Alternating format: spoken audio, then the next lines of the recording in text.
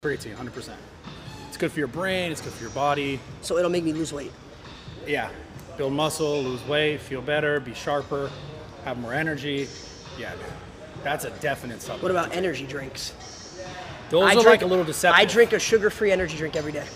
Yeah, those are a little deceptive. Those are those like make you feel good in the moment, but like it's a temporary sort of thing that in some ways can do. And, and listen, I'll tell you, don't I get me wrong. it for stream. I get it. I'm the same way. I get, get a little caffeine, but coffee would be a better option if you were drinking it every day. If you were Black gonna coffee take though, I don't like Ah, black you- coffee. No, No, but you can put a little.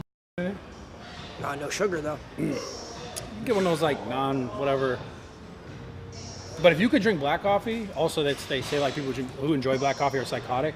So maybe not that, but but the caffeine content and the type of caffeine from black coffee is just better, more more beneficial for your body. Right. And in the long run, if you take it every day, it's better for you.